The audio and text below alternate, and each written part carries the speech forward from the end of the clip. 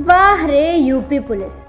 ये दारू का ठेका है जनाब, और ठीक इसके सामने सीना ताने खड़ी है हमारी यूपी पुलिस। वही यूपी पुलिस जिसकी दहशत बदमाशों और गुंडों के बीच जग ज़ाहिर है।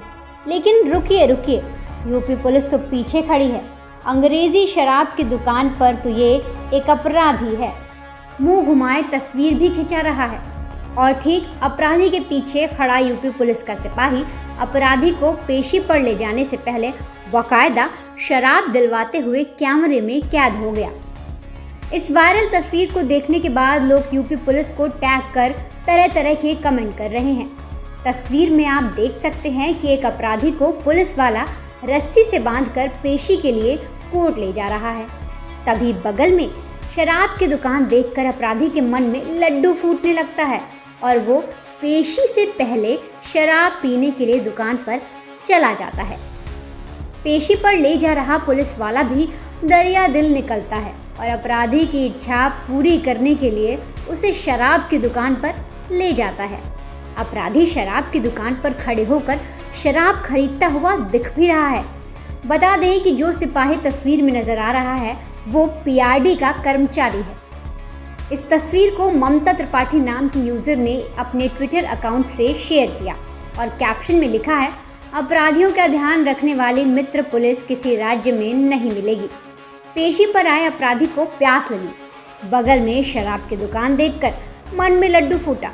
फिर क्या था? दीवान जी भी दरिया दिल निकले। तुरंत आपकी सेवा में तत्पर यूपी पुलिस का विचार मन में कौंधा। खूब जमेगी जब मिल बैठेंगे दो यार। इस तस्वीर के पोस्ट होते ही सोशल मीडिया पर यह तेज़ी से वायरल हो गया। लोग इस तस्वीर पर तरह तरह के कमेंट कर रहे हैं। एक यूज़र ने ये भी लिखा, विकास के कार्य में बाधा न बने, कोरोना काल भूल गए, जब दूध लेने पर चालान और दारू लेने पर सुरक्षा मिल रही थी। वहीं दूसरे यूज़र ने लिखा, पेश आया यूपी पुलिस का मानवीय चेहरा। एक अन्य यूज़र ये भी लिखते हैं कि राम राज्य में कुछ भी हो सकता है। यही अच्छे दिन है बाबा के। आज सोशल मीडिया में जनपद हमीरपुर का एक फ़ोटो वायरल हो रहा है, जिसमें मुलजिम ड्यूटी को ले जाते वक्त एक पीआरडी का जवान मुलजिम को शराब दिलवाता हुआ दिखाई दे रहा है। इस फ़ोटो का संज्ञान लेते हुए तत्काल उस पीआरडी के जवान के विरुद्ध कार्रवाई कराने के, करने के लिए उनके संबंधित अधिकारी को पत्राचार कर दिया गया है, एवं इस घटना के लिए जो भी पुलिसकर्मी दोषी हैं, उसकी जाँच कराने के लिए भी उनके खिलाफ प्रिलिमिनरी इंक्वायरी स्टार्ट कर दी। वायरल फ़ोटो का संज्ञान लेते हुए तत्काल उस पीआरडी जवान के विरुद्ध कार्रवाई हेतु संबंधित अधिकारी को पत्राचार कर दिया गया है। और इस प्रकरण में जो भी पुलिसकर्मी दोषी हैं, उनके विरुद्ध भी प्रारंभिक जाँच की जा रही है।